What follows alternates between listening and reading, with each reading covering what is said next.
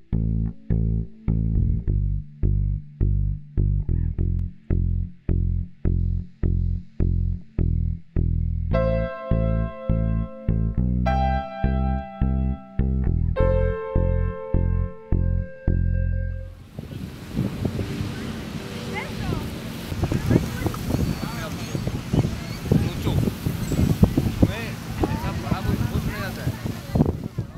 Hello everyone, here is TB from Photo USA. In this video, I'm going to show you our amazing mason jar. This mason jar is made of glass and it has aluminum lid and colorful straws. We have two kinds for you to choose, frosted one and clear one. You can put any your favorite drink in it. Now let's begin to print.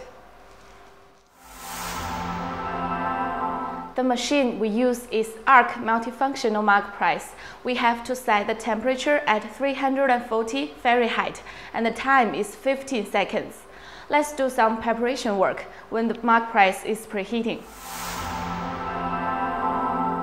We need a blank mason jar, a well-printed picture, a heat tape, and a pair of gloves. First, we have to wrap this picture onto the mason jar and use the 3M tape to fix it.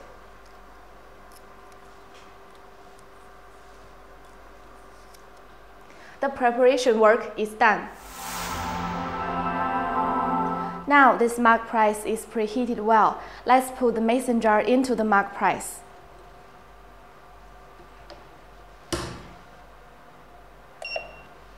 When the temperature reaches 340 Fahrenheit again, hold it 15 seconds.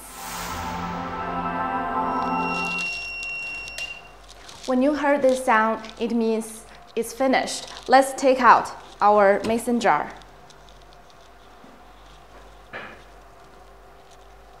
Be careful because it's very hot.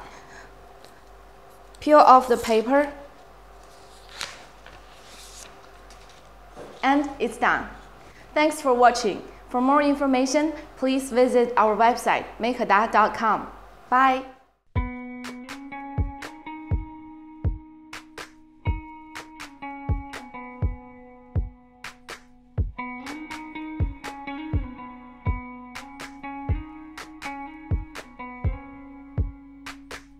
don't say we're done when I'm not finished.